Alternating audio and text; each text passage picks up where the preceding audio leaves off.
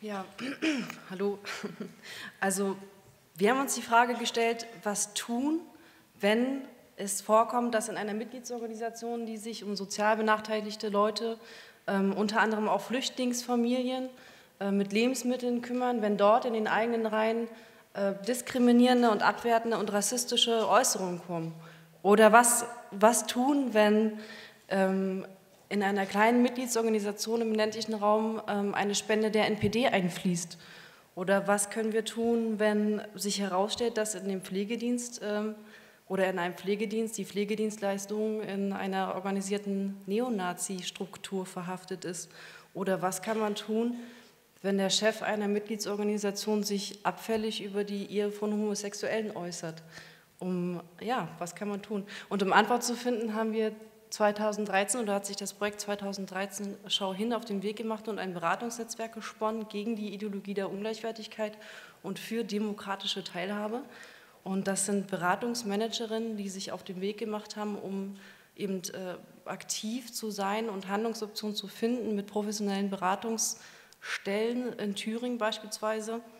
Und die agieren ähnlich wie Antidiskriminierungsbeauftragte und sind äh, Kontaktpersonen oder äh, kreative Initiatorinnen und ähm, ja, arbeiten eben in dem Feld, um Widerstand zu leisten für die Rechte für alle.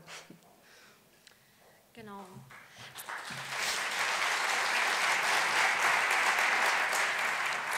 Die Frage, die sich an dieser Stelle vielleicht stellt, ähm, wer denn alles in diesem Netzwerk organisiert ist. Also das ist zum einen der Paritätische Landesverband Thüringen und das Bildungswerk Blitz, die in Kooperation das Projekt Schau hin koordinieren.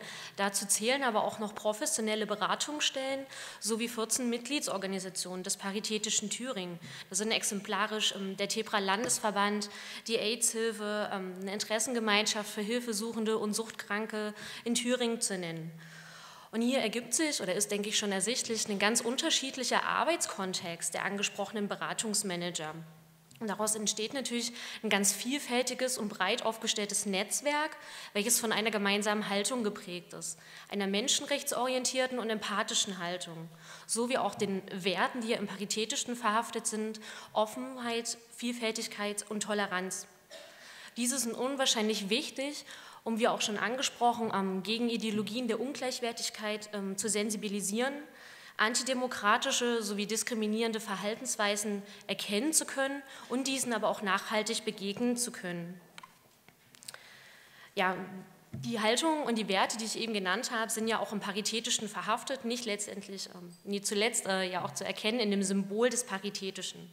Ausgehend davon und von diesem Wertedialog erhoffen wir uns, dass die Haltung und diese Werte offen, vielfältig, tolerant, menschenrechtsorientiert in unserer aller alltäglichen Arbeit ähm, noch viel stärker ins Bewusstsein rückt. Dies erfordert unserer Meinung nach ähm, eine stärkere Positionierung des Gesamtverbandes als auch der einzelnen Landesverbände und der darin organisierten Mitgliedsorganisationen. Diese Positionierung gilt es dann auch stärker in die Öffentlichkeit zu tragen. Denn wir brauchen ein deutliches Zeichen für Zusammenhalt gegen jegliche Form der Ausgrenzung, Diskriminierung und gegen Rassismus. Der Gesamtverband hat ja schon die Charta gegen Rassismus und Rechtsextremismus veröffentlicht und dies ist unserer Meinung nach schon ein richtig guter Aufschlag, den es aber weiter zu verfolgen gilt. Und wir denken, dass der heutige Wertedialog dazu ein richtig guter Anstoß ist, um auch nachher in den Open Space Runden dazu noch weiter ins Gespräch kommen zu können. Das wäre es dann schon. Vielen Dank.